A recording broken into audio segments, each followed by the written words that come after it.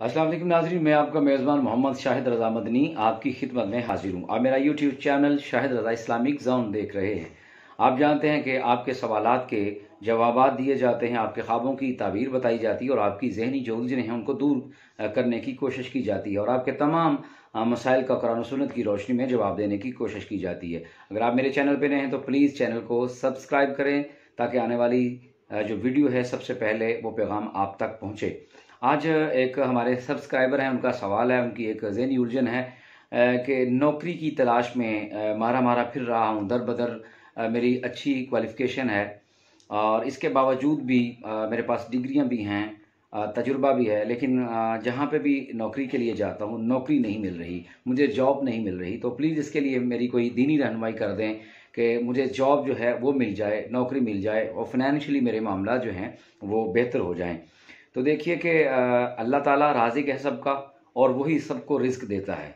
बल्कि अल्लाह ताला ने फरमाया कि वमामिन दाबतिन फिल अर्दी रिस्कुहा कि इस कायनात में इंसान से लेकर और बड़े से बड़े जानवर से लेकर रींग कर ज़मीन पर रींग कर चलने वाले जो हशरातुल अर्द हैं, उन तक सब का ज़िम्मा रिज़ का अल्लाह ने लिया है और हर शख्स को अल्लाह ताला ही रिज्क देता है। लिहाजा हमारी किस्मत का जो रिज्क होता है, हमारे मुकद्दर हमारे हिस्से का जो रिज्क है, अल्लाह ताला ने हमें वो ज़रूर पहुंचाना है।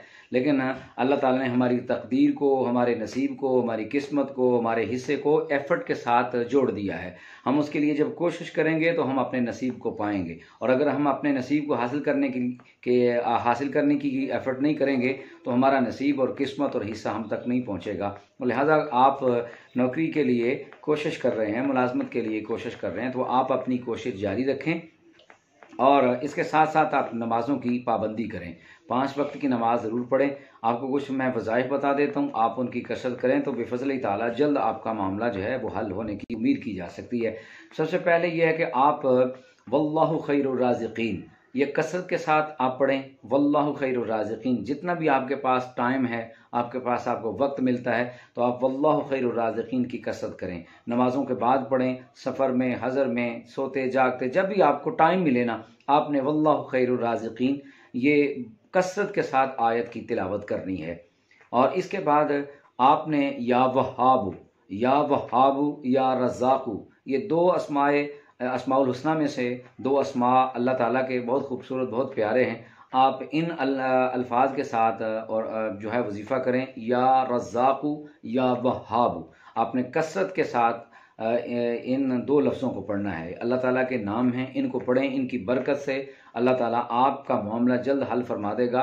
अल्लाह मकफ़नी बहलाली का अन हरामी का व अगनीना बेफ़ल का अमन सिवाक। ये दुआ आपने सुबह शाम कम से कम ग्यारह ग्यारह मरतबा पढ़नी है। अल्लाह मकफ़िनी बहलाली का अन हरामी का व अग्निनी बेफली का अमन सिवाक। आप ये दुआ पढ़ें, आप ये वजीफ़ा करें तो इन बेफजल ताला आपकी जो नौकरी का मसला है, वो भी हल हो जाएगा। आपके जो फाइनेंशियली मामला बिगड़े हुए हैं इन बेफजल ही ताला वो भी ठीक हो जाएँगे। किसी मेरे भाई को, मेरी बहन को, मेरे दोस्त को सब्सक्राइबर को अगर कोई इस तरह का फाइनेंशियली प्रॉब्लम है, नौकरी का, कोई जॉब का मसला है या कहीं वो जॉब होती है तो वो जल्द छूट जाती है। अगर तो कोई उसके और मुहरकत हैं कि उसके ऊपर भी नज़र षानी करें। अगर आपके रवैये में, आपकी ज़िम्मेदारी में, आपके टाइम टेबल में कोई कमी पेशी आ रही है तो उसको भी बेहतर करने की कोशिश करें।